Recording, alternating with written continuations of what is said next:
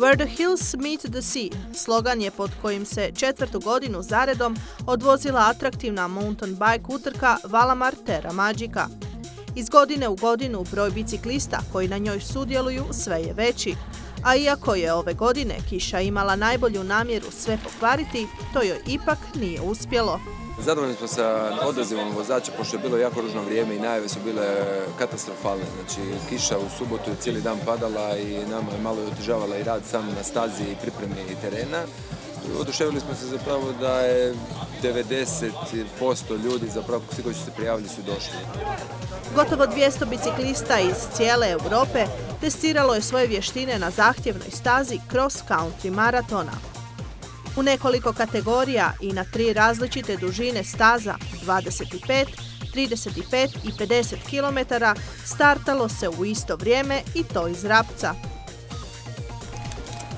Ove godine utrka uvrštena je u UCI kalendar, pa je startna lista bila u mnogočemu različitija od onih prošlih godina, osobito u broju prijavljenih rekreativaca. Ove ih je godine bilo puno manje, a njihova su mjesta preuzeli profesionalci. Uh, Moji prijatelji su do sada odvozili već puno utrka u Hrvatskoj. Pohvalili su organizaciju, zahtjevnost utrke, pa sam morao doći i ja.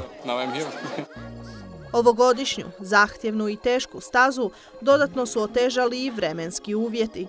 Kiša koja je danima padala natopila je teren, te ga je učinila skliskim, punim blata i vode. Iako se startalo u sunce, teren je bio iznimno zahtjevan. Uh, bila je zahtjevna staza. Jučerašnja kiša nije olakšala stvar, ali bilo je super. Odlična zabava, teško, ali zabavno. Prava mountain bike utrka. Neprestane uzbrdice i nizbrdice. Jako grbava cesta.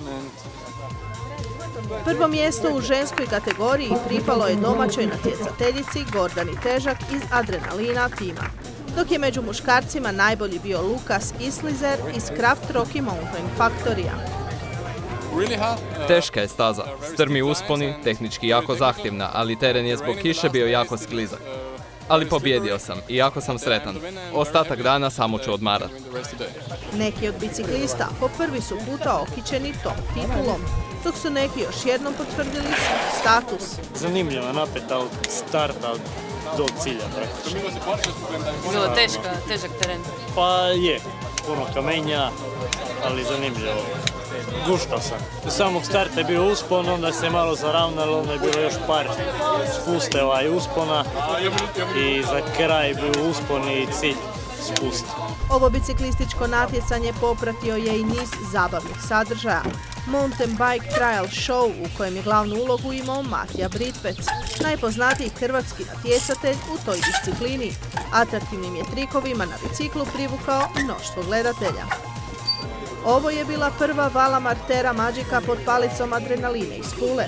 Posao koji su odradili u Rapcu pokazao je da su na dobrome putu i da će iz godine u godinu ova utrka rasti i postati sve značajnija na svjetskoj karti biciklizma.